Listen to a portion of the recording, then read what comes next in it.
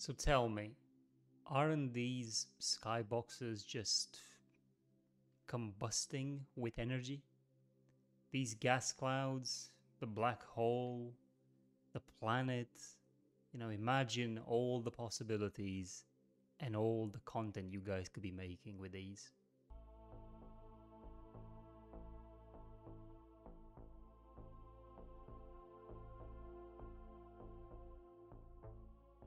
Hello everybody and welcome to Arghanion's Puzzle Box. In uh, today's video I want to quickly break through, breakthrough, I would quickly like to um, go through the project that I've just released on ArtStation, Patreon and Gumroad. It's my first volume uh, for, for skyboxes, so the first library of skyboxes.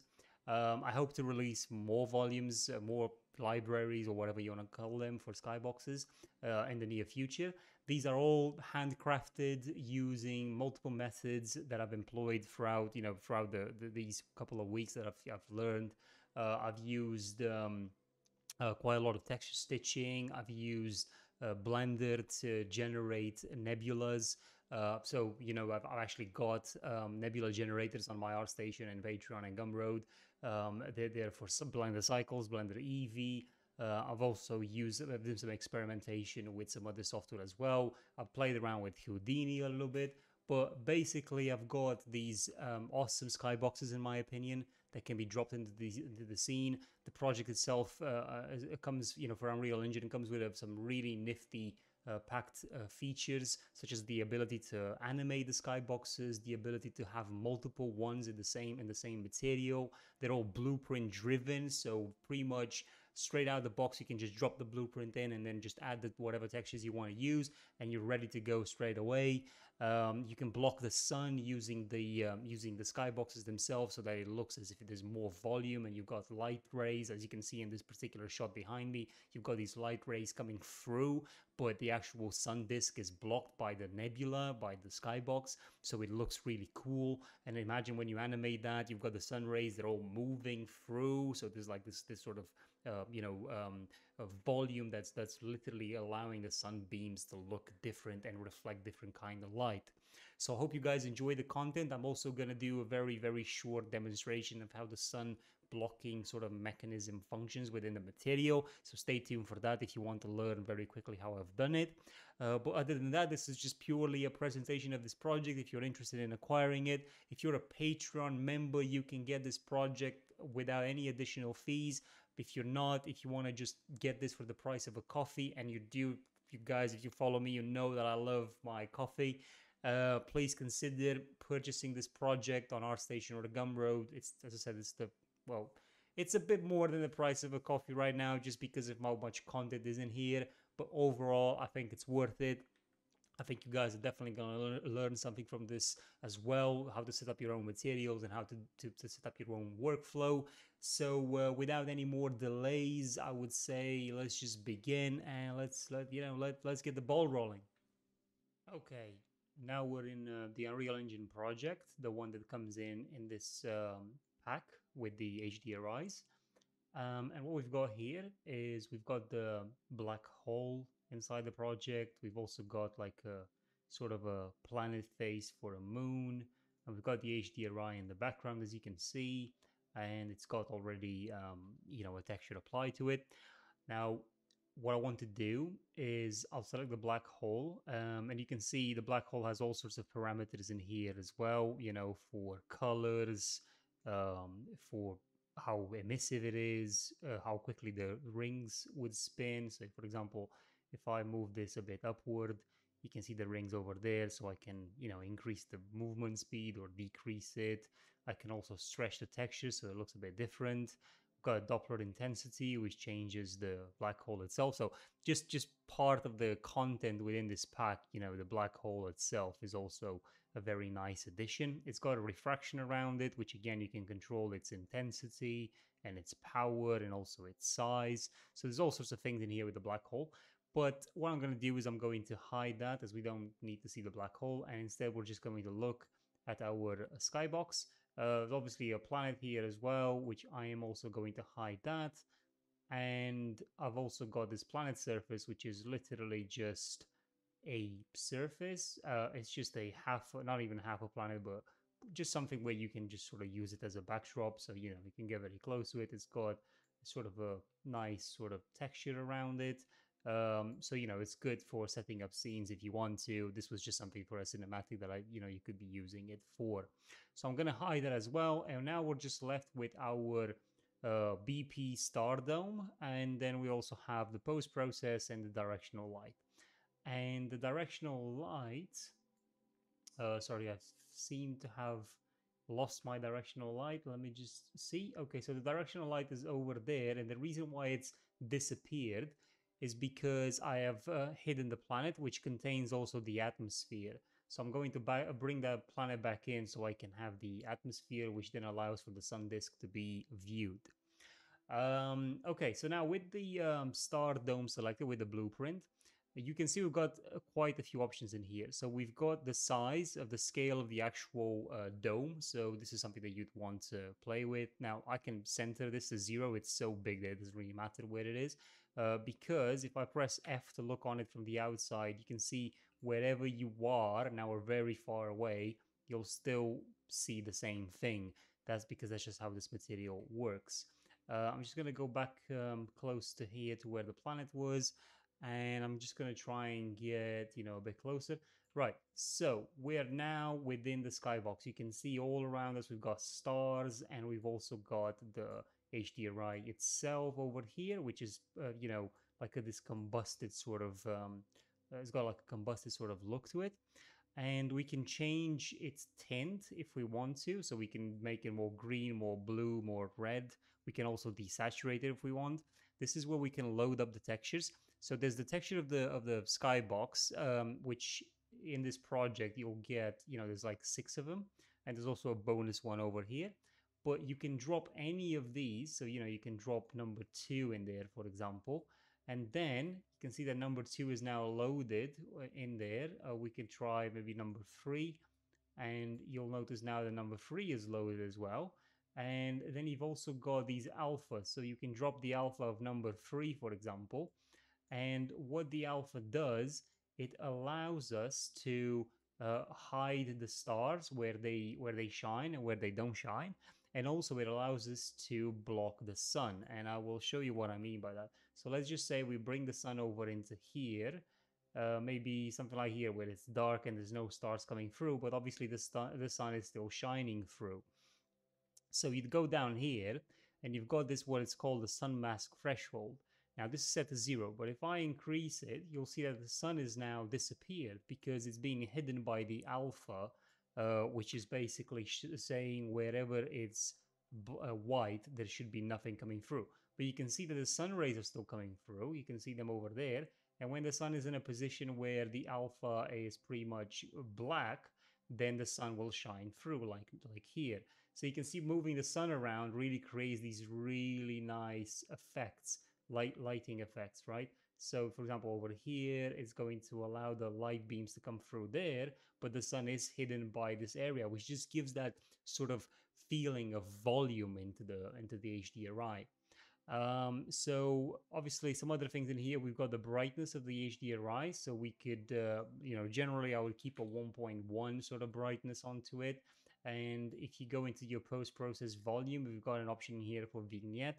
Maybe put that to one, which will lighten up the scene a bit more. But you can also play with the, um, you know, over here in the local, um, sorry, in the um, lens uh, options into exposure.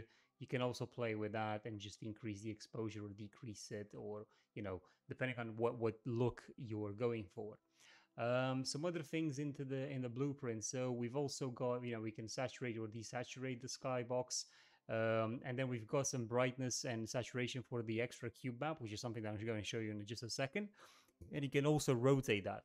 And also, very importantly, you also got a flow direction. So there's no flow map loaded, but the flow direction will still function. So as you can see, I've just moved the setting to here, for example. And you can see now that the skybox is going in that direction. So this is your vector, X, Y, and Z. So it's all pulling in that direction. Obviously, this is a bit too strong. So you may want to go for something a bit, uh, you know, like a smaller number. But also to help this out, you also want to drag in a flow map. So I do have this texture over here, which I normally use, so I can drag that in there. And once I do that, let me just take this content browser away.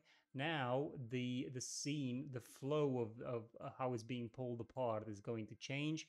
So let's just give it a 111 to everything, which is again a bit too strong. Actually, a 111 may actually keep it in place. Um, so let's just try a 0, 0 over there. So now the scene is sort of pulling inwards. Uh, but there's some other areas like here where you're seeing is doing something else and you know this is this is sort of duplicating the the the texture over and over again and trying to create a sort of mimic a bit of movement. So you're going to have to experiment with this in order to get the right effect. And normally I wouldn't, uh, I wouldn't, um, you know, um, recommend any values above, above 0.5, but you can go wild with this, like create some really, really weird sort of effects, something like that, you know, and this is obviously pulling in. So you can get all sorts of different effects by just playing around with the flow map.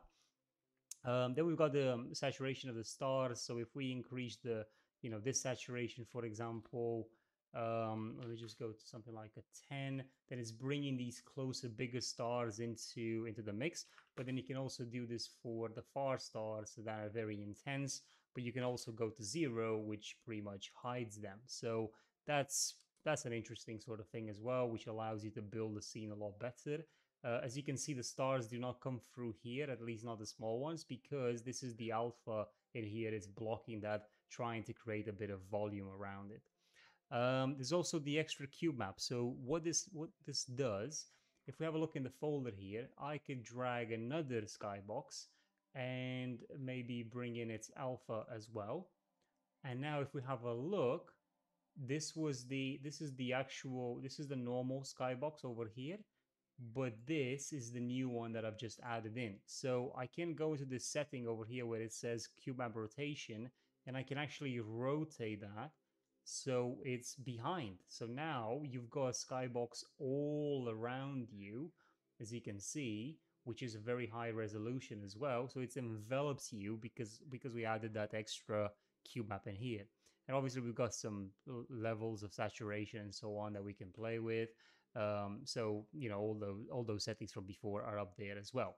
Um, so a part of the what, what I wanted to showcase to you guys, you know, in terms of what I've done to this material as a new thing, I'm just gonna bring up the material over here. The way I block the sun, so this is very, I think this is a very interesting thing for you guys to know because this entire node setup that you're seeing here is in my previous tutorial about HDRIs, you can see that there, how I've set it up. And then in the previous, previous tutorial, you can see how I've created the HDRI, you know, the skybox itself anyway. But what I've done is I've also added the sun control. So what this does is basically um, two sky atmosphere light disk luminance, one set to zero, one set to one. I've put both of these into a lerp node and then I've got a, a multiply node between a texture sample and a sun mask, well, a parameter really, uh, just to set up the number that I want, goes into the alpha and then goes into an add node between the entire structure over here of the whole setup for the skybox and then it goes into this um, material. Now, again, if you follow my previous tutorial on how to create the skybox, and then if you follow my previous tutorial about how to create the animated flow map skybox, then you would already have all of this set up. Now, the sun control, as I said, this texture here is just an alpha map. It's connected to a texture object, so it feeds into, you know, it uses the same texture map as before, as, as something that you'd be setting up anyway. But effectively, it's just a texture like that which is uh, you know an alpha and the alpha is just put into the multiply so wherever the alpha is white um, the sun will not shine through wherever it's black the sun will shine through and that's what this sky atmosphere light light disk luminance is doing basically um, you can see all the parameters in the material instances are here, so you can control pretty much everything about the skybox. And this is set up in the master material over here. Um, in terms of actual performance, uh, if I press Alt 8 on the keyboard, you can see the material is decently optimized. I wouldn't say it's perfect, like it's not in the in the perf, you know, the perfect category, but it's still pretty pretty okay. Uh, the planet itself with the ring is actually a lot more uh, consuming, you know, resource hungry than the skybox. Um, so let me just go back into lit mode. Um, but yeah, you can you can pretty much load anything into that. Um, you know, any any any HDRI, any cube map, you can load into the skybox. It can be used in scenes that are not necessarily to do with space. It could be on on just landscape uh, skybox, which again is very rich because you can add all these you know effects like this. Um, and and this is um, this is all driven by a blueprint. So this blueprint is a massive sort of chain. So what what this is doing is effectively creating a dynamic material instance for the dome, uh, which is the skybox mesh. And then it's just setting up all the parameters for you to be able to just in the blueprint, uh, uh, you know, um, in, in the viewport, you can actually just access the blueprint and just add everything there. So that's what this blueprint is doing. It's very straightforward, very simple, but it does the, you know, it does the job of allowing the material instance from here to exist in the blueprint interface.